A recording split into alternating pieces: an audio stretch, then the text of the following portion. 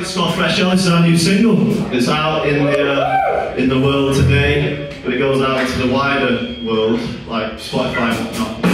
Uh, but yeah, check it out. Uh, it's called Fresh Hell.